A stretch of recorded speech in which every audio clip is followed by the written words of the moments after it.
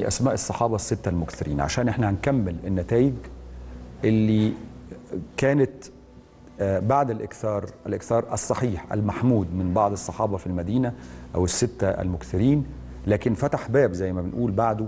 فعندي أدلة أنا بقول لكم كيف نستدل بالاستقراء العلمي أنه هناك كذبا حدث بعد عصر الصحابة. إما من الجيل الأول التابعين أو بعضهم طبعا بعضهم ثم الجيل الثاني والثالث والرابع.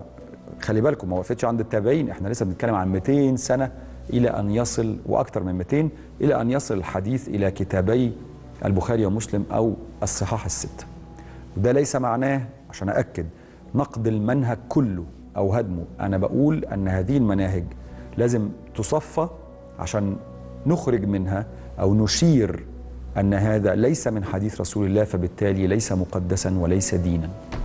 هسألكم سؤال يأيد الكلام اللي قلناه لماذا لم ينقل الحديث الصحابة بعضهم إلى بعض؟